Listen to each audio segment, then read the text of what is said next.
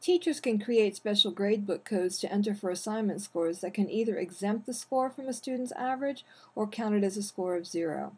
For example, a teacher might create a medical code to explain why a student did not complete an assignment, and then determine that medical codes do not count towards the student's average. Or, a teacher might create the CH cheated code and count that grade as a zero in the student's average.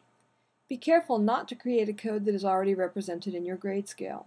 For example, you do not want to create a cheating code C if your grade scale contains a C grade.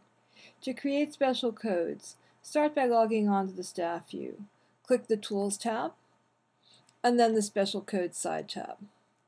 Click on Options Add. I'm going to enter CH in the code field because I'm setting up the code for cheating. In the Behavior field, you'll select one of the following.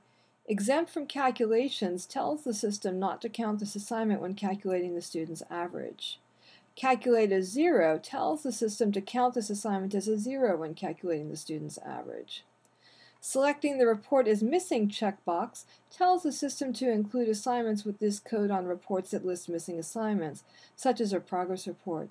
These assignments appear in addition to assignments with no score. Next, select the color that you want the system to use for this code when you enter it as a grade.